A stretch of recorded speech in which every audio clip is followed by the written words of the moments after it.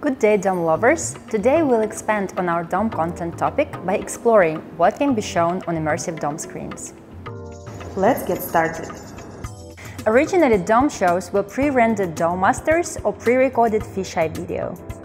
The dome master format was almost unknown outside of the planetarium industry, but it's now becoming more common as dome theaters are showing more diverse content and new markets emerge with the development of VR technology. One of the most exciting features Fulldome Pro systems can be equipped with is Fulldome Live. This option brings any real-time content, any interactive software, including games, into the dome. Preview or stream content from almost any computer directly to the dome screen or take a feed directly from some 360 cameras.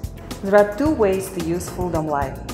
Hardware capture, where an HDMI or DisplayPort cable connects the Fulldome Pro Media server to the computer with the content. Software capture, using Wi-Fi or Ethernet to send content via the NDI protocol. In our next video, we will have a closer look at the different content formats and test each of them on the dome screen.